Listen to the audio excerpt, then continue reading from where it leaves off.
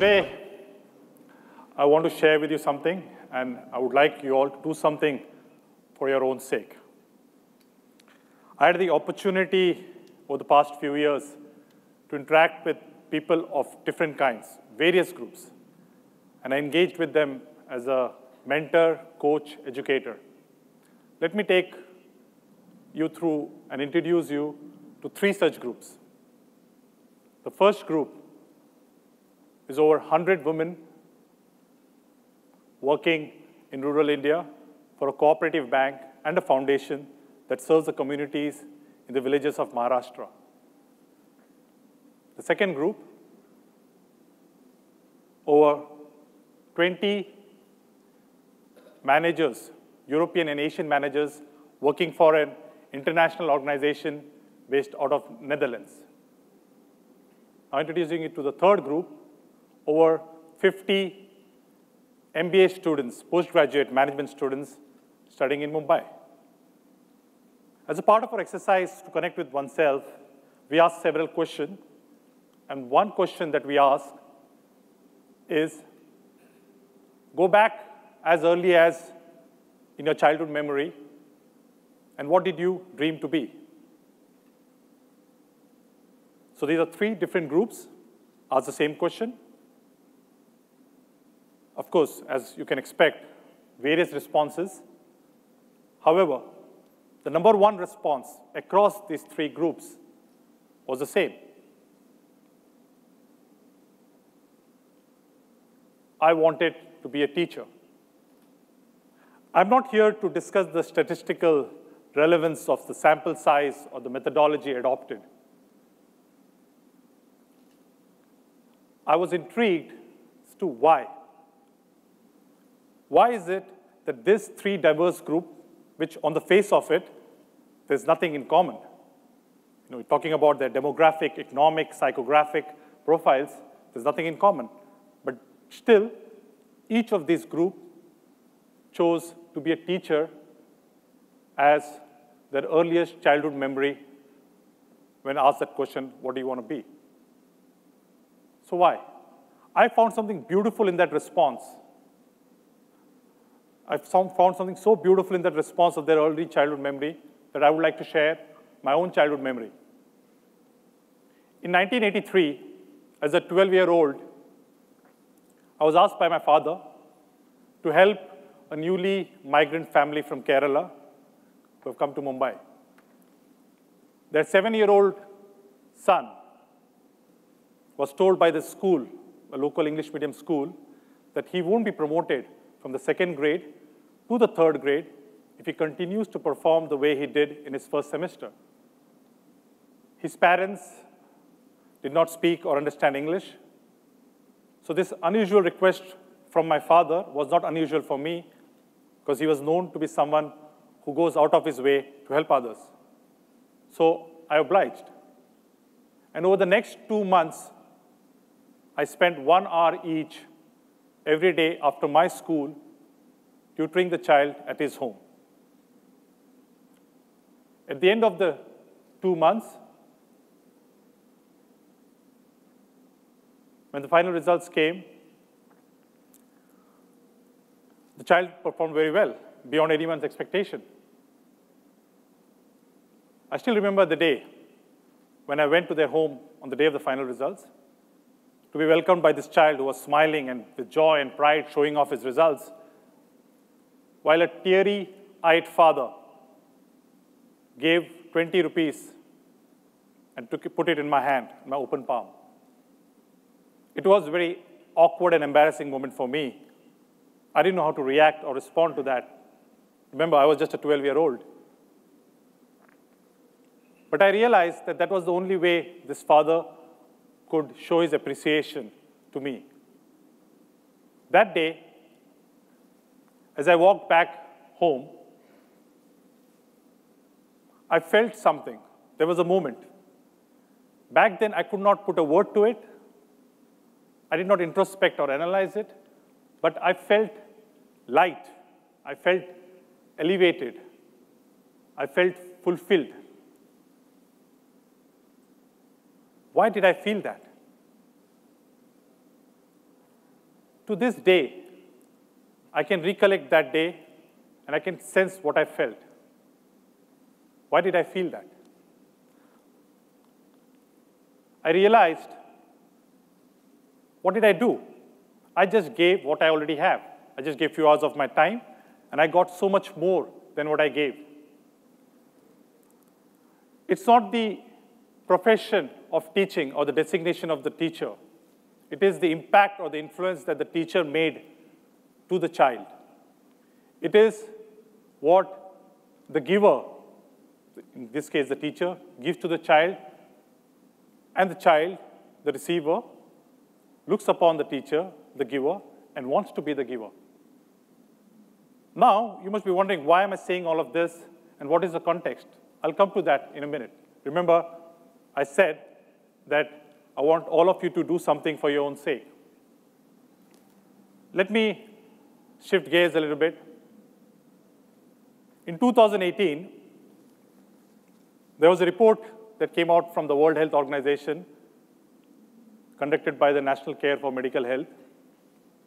And we were, India got that sad distinction of being the most depressed nation in the world.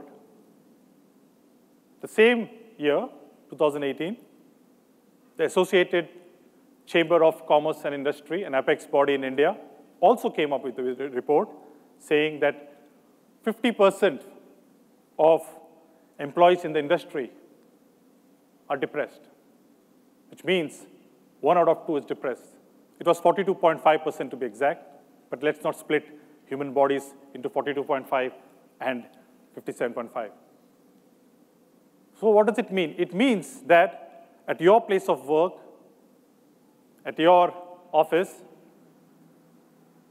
half of them are feeling depressed. Now, who are they? Can you spot them? Can you identify them? Are they hiding something?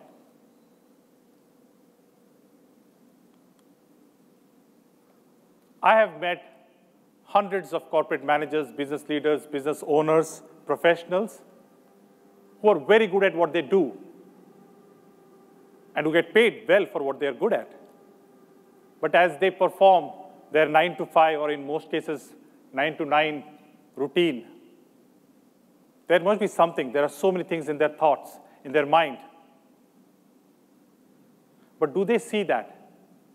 Do they see the elephant in the mind? The elephant in the mind is so heavy and weighs you down, it seeks attention while you're feeding it products and services, while you're feeding it experiences, vacations, meditation, yogas, Zumba. But as we saw, that for 50% of you, still the elephant in the, way, in the mind is weighing you down. Why? it is asking for your attention. Except for a courageous few, many of you refuse to acknowledge the presence of the elephant in the mind until it shows up as fatigue, stress, depression, divorce, resignations, sabbaticals.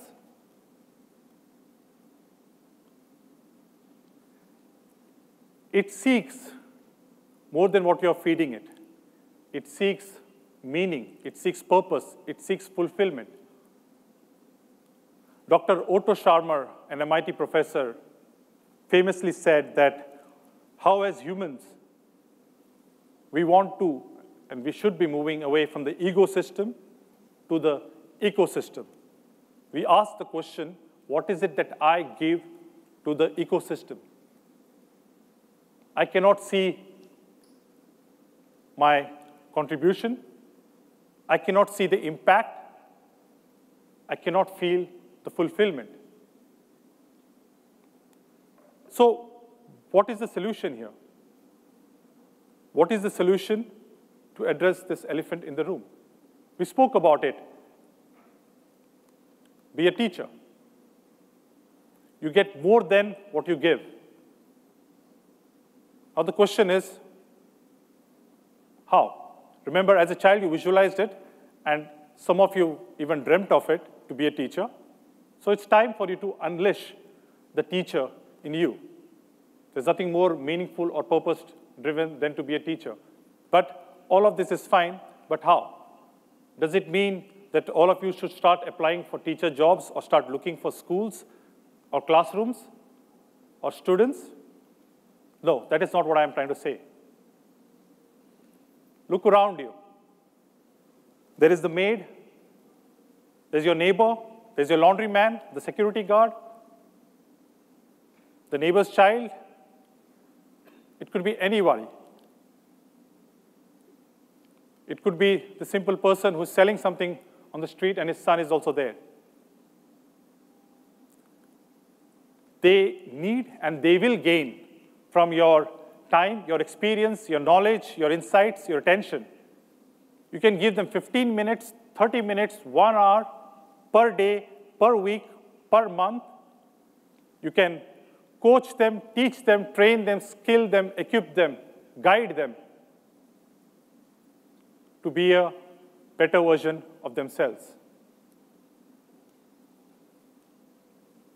And in doing so, you will find the meaning, the purpose that you're looking for. The meaning, the purpose that Simon Sinek so famously asked everyone to ask the why in the Golden Circle, or that Otto Scharmer asks about mindfulness in the theory U, or what the Japanese philosophy asks the reason for being in the Ikigai principle, or what the Buddhist philosophy talks about enlightenment in nirvana. The magic of all of this in just one action. In 2011, I was among the top 1% earners in the United Kingdom with one corporate job. Today, I earn less than one-fourth of that, and I do four jobs. But I've never been more fulfilled and purpose-driven than in my entire corporate life. Because each of these four jobs gives me an opportunity to coach, train, mentor, guide, skill, equip people. I get so much more than what I give. You can also do so.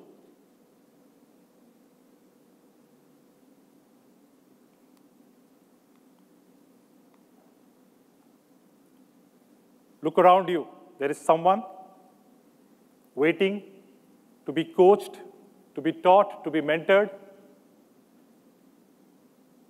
and to become a better version of themselves. So for their sake, and also for your own sake, teach. Thank you.